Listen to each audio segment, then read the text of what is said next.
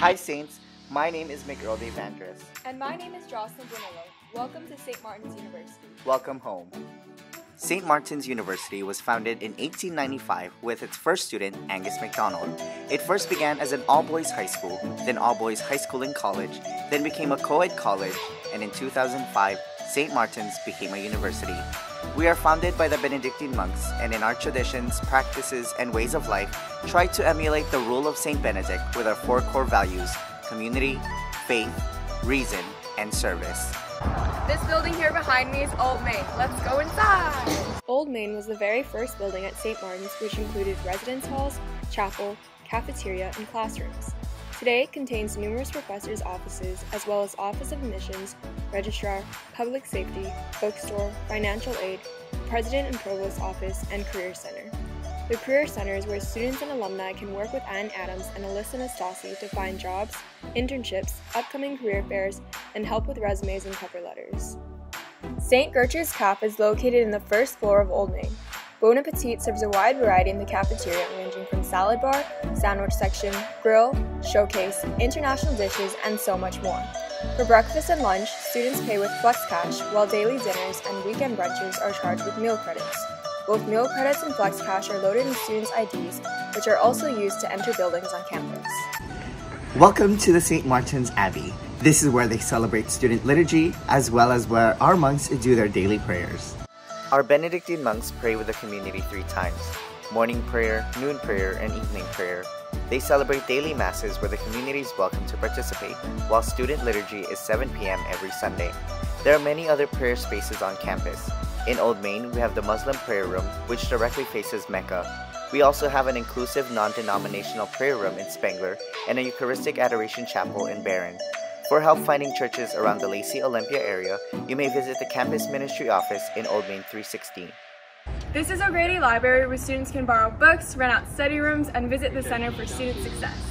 Here, students can borrow books from our partner universities and rent ebooks.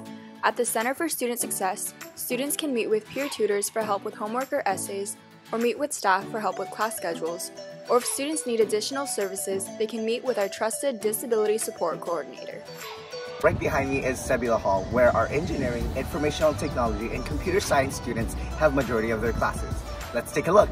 The Hal and Inge Marcus School of Engineering includes mechanical engineering, civil engineering, informational technology, and computer science.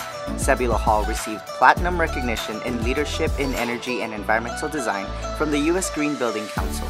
The building's partial incomplete interior covers help our students see what is necessary in a building.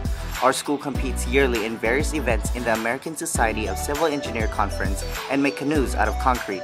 With a Panowicz foundry next door and makerspace on campus, our students are able to get hands-on experience in the field and design of their choice. Ernsdorff Center is our newest building here on campus and it completes our STEM complex. Ernsdorff Center opened this past fall and is home to all our science classes and labs. The building houses our chemistry, physics, and biology suites. Here, students are able to participate in indoor labs or walk to the nearby wetlands and forests for outdoor lessons. The building also has an atrium where students can meet for study groups or hang out after class. Welcome to Parsons Hall, where we house almost all first years as well as a few of our upperclassmen. Parsons is the newest residential hall on campus. The west wing and the bridge is designated for first years and the east wing is for upperclassmen. Unlike other residential halls, Parsons has a convenience store where students can purchase snacks, beverages, and other essentials with Flex Cash. Here we're at the Charneski Recreation Center, also known as the Rec. The Rec has three basketball courts, free weights, an indoor track, dance studio, and cardio machines. Here, students are given the opportunity to participate in various activities to maintain a healthy lifestyle. The Saints Outdoor and Recreation, or SOAR program, is free to all students and hosts several hiking and ski trips throughout the year. Students are also given the chance to play intramural sports like basketball, volleyball, flag football, and indoor soccer. Here we're at the Tub, or Trautman Union Building, where we have our ASMU meetings and other campus activities.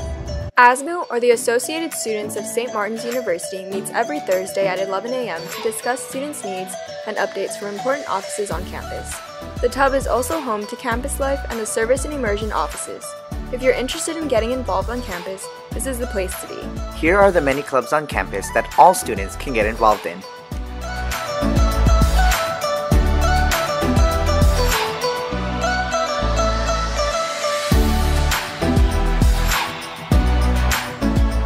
And here are the list of sports available at St. Martin's University's Division II program.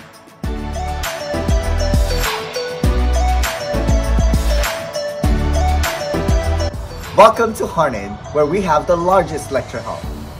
The largest lecture hall on campus holds about 80 people. Harned is also home to our student-run newspaper, Bell Tower, the Diversity and Equity Center, Veterans Center, and Monk's Bean. Thank you for joining us. We hope you enjoyed the tour. See you in the fall.